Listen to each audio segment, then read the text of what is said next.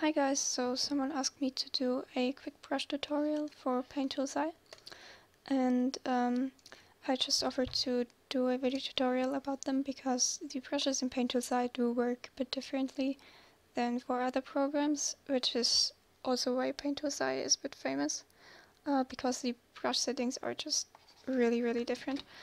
Um, so overall I have three things to talk about first thing is settings, then there's shapes, and then there's textures. So I will start with settings, which is the most important part. Um, you get your brushes over there in this little corner here, and you have your brush presets in these. You get these presets by right-clicking on one of those corners, and then you have a selection of brushes um, this one is a brush for selection, so you can, for example, this one was an eraser, you can paint with a selection or um, if you want another one you can you can create a bucket and things like that. But these these top brushes here are the ones that are the most important. You do not really need all of them because most of them um, can be changed to by, by using different settings to one another. Um, so overall there's three different types of brushes that are mainly important. The first one is the airbrush and it basically does this. It is a soft brush with a soft edge like it is in any program. Then there's the marker and the marker is a really hard brush, does it? Okay a really hard brush with a hard edge. And um, yeah it basically just blocks in color. Then there is the brush brush and this one is the most interesting one because it does use a lot of blending in the brush itself. And which, which means you can actually blend very well with the brush you are painting with and this is the brush Paint Tool Sai got famous for, I think. Um, this is mainly it. You do not really need more than this. You basically do not even need an eraser, eraser because um, you can paint with transparent color here. And the reason why this is so helpful is because you then do not have to change the preset of the brush you are using uh, just for erasing because that can be really time consuming. Um, one quick tip, if you are using a blending brush a lot, then get uh, the color picker either on a hotkey on your keyboard or on your pen, which I'm having now. This is not really brush related, but it saves you a lot of time. Um, okay, so now to the presets. You can see if you select these presets that the settings Paint Tool Sai offers you to change for these three. And this is why they are important because those three are the main differences in settings they offer you. Um, if you use airbrush and marker, these are standard settings. So a marker is used to just be very very soft in in drawing yeah, no, the airbrush is very, very soft. And this starts with the upper corner here.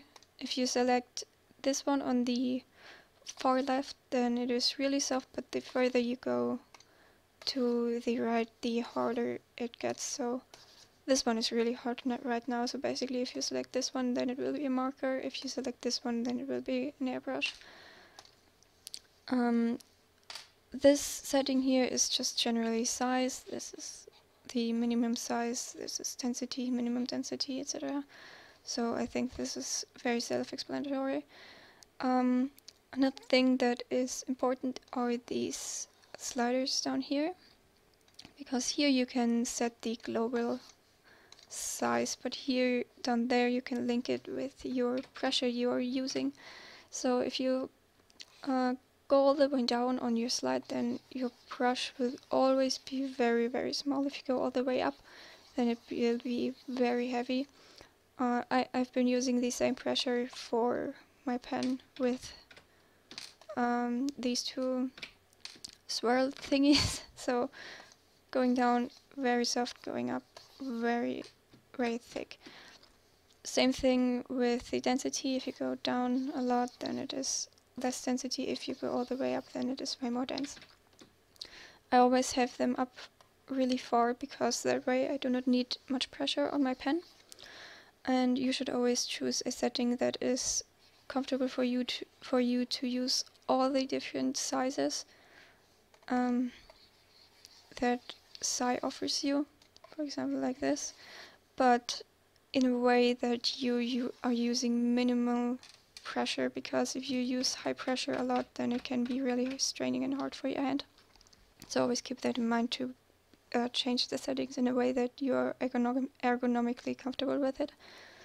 Um, if you use the marker, it's the exact opposite. You're on this side here, so it's really hard. I use this one for blocking in colors, so it has high density, min density is up to 100, so there is no change in uh, density at all. Um, and this one is just a really standard setting over there. Uh, one thing I don't use is this size selection here. The reason why is because if you press Control and Alt, you can, by tearing over the canvas, you can change the brush size to the way you want. So you can have a really big one or a really, really tiny one. Just by pressing two, two keys, you know. Then you also get this, this setting here, where you can change the brush size manually or also the density. This density thing is has not been a thing in Paint SAI version 1. As I said, this is version 2. It is 8, I don't know. And uh, yeah, this is an addition in version 2. I rarely use it though, I should use it more often. Either way, this has been the marker. Now for the brush. This is the most interesting one and the one I use the most because it is actually where you're playing with. Like the airbrush is for soft touches and the marker for blocking in colors, but everything in between I use the brush for. So let's say I have two colors here, uh, green and purple, and I want to blend those, then I pick the color, go into the middle, pick the color, go into the middle, and so on, and it will slowly blend them together. I I might change them in size. It looks really messy now because I've chosen um, opposite colors, but whatever. That way you can see it best. Uh, yeah, something like that. Let's leave it like that. So it gives you, if you zoom in, gives you a really nice texture. Like you can see an edge here, you can see one there, etc. And if you compare it to the airbrush, for example, which is very well for blending, obviously, but you can see that the airbrush just looks very generic and also 100% soft, and I don't know if this is what you're going for. If it is, then of course um, use the airbrush, but I don't know, I think it is really generic and I don't really like it. This one is more alive in my opinion. And that way I can basically use it for all kind of shading I'm doing. As I said, I can I can change the blending here down there or I can change the blending down there so if it is really far up then I need lots of pressure to get the color in. Like this. Now, now it's 100% so I cannot get it in at all. Um, now it's really far down now. There's no problem to get the color in at all. So yeah, the further it is up, the more it blends. Dilution doesn't really do much. I don't know. Same as blur pressure or this sharpness or amplified density. Like you can see a bit of difference in ampli amplified density, but just use this one down here. Does the same thing. Um, persistence is also very interesting, but I don't use it. I don't know. If you like it, then use it. So I'm now choosing a a color that is nowhere in here. I'm having persistence up to 100% and now I'm starting to blend what happens is that it takes the color where I started picking up the brush like this or if I go to green it picks up this color and that way I do not have to uh, to pick the color that I want. I just start blending it in. And um, yeah it's just I don't know. You can use it to refine some things without um, having to worry about the color or if you pick the right color etc and just focus on blending if you if you want that and uh, are looking into that but I rarely use this. So yeah this basically I think that basically is it. With these settings. Yeah there you also have a few settings. For example if you want to multiply it should go darker. It doesn't. Interesting. Let's use multiply here. Now it goes darker. Uh, it didn't because I had persistence up very high. Now it is still normal. Now it does multiply. Yeah, those are those are the same in other programs as well. Um, but I think, yeah, I think that's been it.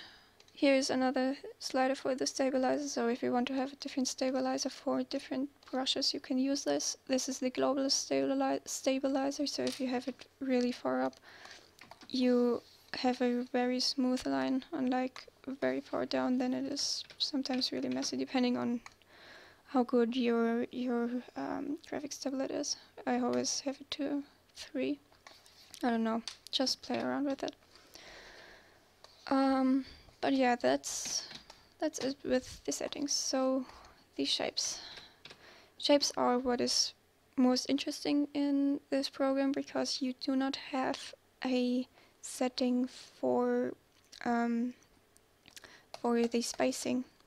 If you have Photoshop, for example, you have a option for spacing, and that means the texture that is underlying in your brush, for example, in this case, a uh, a dot gets spaced either very far apart or very close. If it is very close, like here, then you have a line. If it's far apart, then you have a line of of dots.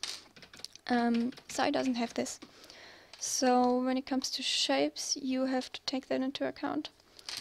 Um, and that, that just means that some things aren't possible. For example, uh, if someone was to draw a bunch of leaves and has a brush with the shape of a leaf, um, kind of like this, like this is a leaf now, and they have it in their brush a lot and then I just tear it over the canvas and there's leaves everywhere.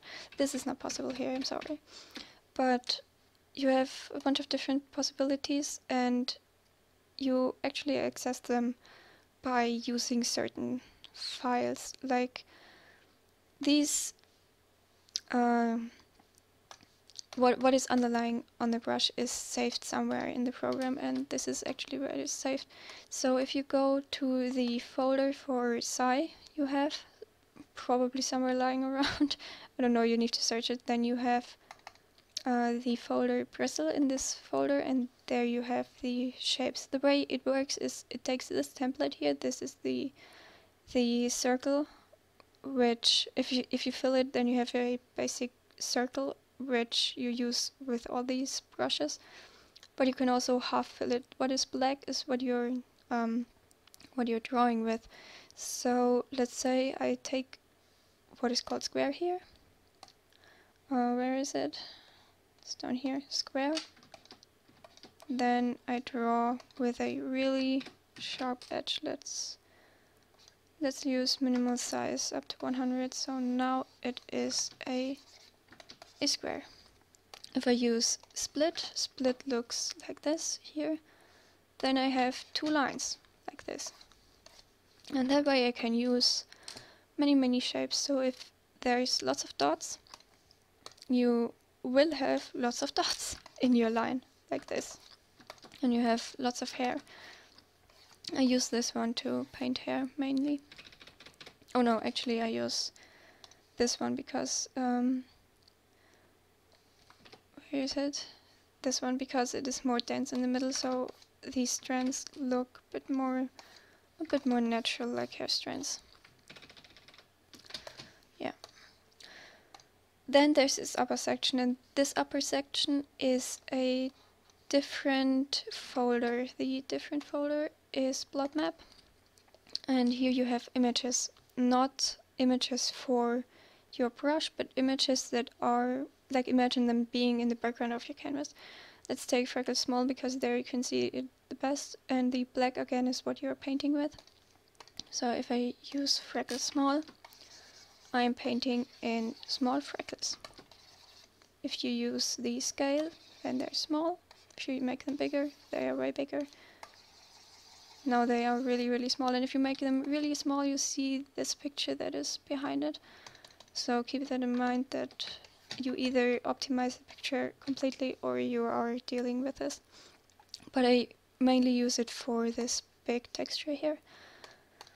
And you can use it with different, way different textures. For example, lots, lots, lots, where is it here? Let's make it bigger and it does look like that. You will always see this picture if you go all the way down, by the way, because it's just a repeating pattern. And you can make both of them yourself, or you can download them, of course. Uh, this one by using this template, the template, uh, either you download it or you just imagine it, it doesn't matter, it only takes 100% black um, pixels and uses it as uses it as a um, a template for your brush. And you need a BMP file which you can use with size. You don't need a specific program. And it's in the size 63 by 63 don't ask me why. I don't know. I don't care. Just use this and then you paste it into the folder and you're good to go. Same for Blot Map it's also a BMP file and it's 256 by 256 so that way you can make your own your own um, not really textures but your own brush settings. Uh, then the last part is what I rarely use but it's also there. So um, it doesn't have much difference to this part here. I don't know. It, it had way more difference in version 1 than it now has in version 2 but there for example, you can have a canvas texture if you make it higher then it does look a bit like a canvas, I don't know. You can also use, uh, no that's the wrong folder, I actually closed it, wonderful. Either way you can also use these up here for that, so that's a bit useless but yeah, that's called textures and that is called uh, circle or just generally um, the brush. Oh, another thing, you can choose the direction. If you choose none, it always goes in one direction. Like now it is really thick, now it is really thin, because it always takes this line here and then goes down. And uh, if you use auto or pen direction, it will always go into the direction you're painting with. So that's really, really useful. Uh, now that was it. Yeah. So I hope this helps. I just just to summarize, this is the most important thing, just for blending purposes. Blocking in a really soft brush and everything else is just playing around. So this is really all you need. I hope that helped and bye bye.